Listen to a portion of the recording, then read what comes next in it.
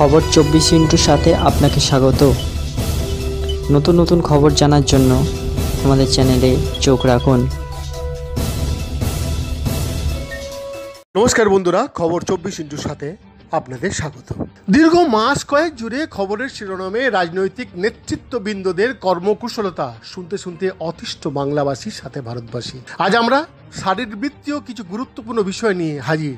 আপনাদের দরবারে। প্রস্রাব হয়ে যাওয়ার পরেও অনেক সময় দেখা যায় কয়েক বিন্দু মূত্রত্যাগ হতেই থাকে। এই সমস্যাটি বহু মানুষেরই হয়ে থাকে। চিকিৎসকরা বলছেন, বয়স ও স্বাস্থ্য নির্বিশেষে বহু পুরুষেরই এই সমস্যা দেখা যায়। চিকিৎসা বিজ্ঞানের ভাষায় একে বলে টার্মিনাল ড্রিপিং।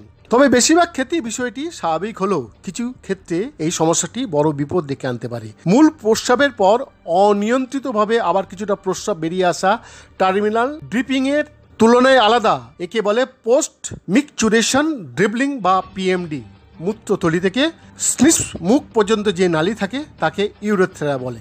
এই রোগে সেই ইউরোথ্রার মধ্যে কিছু পরিমাণ মূত্র জমা হয়ে থাকে। প্রস্রাবের শেষে সেই মূত্রই বার হয়ে আসে, ওই ফোঁটা ফোঁটা করে বাইরে পড়তে থাকে। সম্প্রতি একটি পরিসংখ্যান থেকে জানা গিয়েছে, প্রাপ্তবয়স্ক প্রায় সতেরো দশমিক এক শতাংশ পুরুষ এই রোগে আক্রান্ত। বয়স বাড়ার সঙ্গে সঙ্গে এই সমস্যা বাড়তে থাকে। বিশেষজ্ঞরা বলছেন এই সমস্যা কিছু কিছু ক্ষেত্রে প্রস্টেট বা স্নায়ুর সমস্যারও ইঙ্গিত হতে পারে। সেই কারণে সমস্যা দেখা দিলে যত দ্রুত সম্ভব চিকিৎসকের পরামর্শ নেওয়া উচিত। বৈদ্যনাথ দাসের রিপোর্ট, খবর চব্বিশ ইন্টু সাত।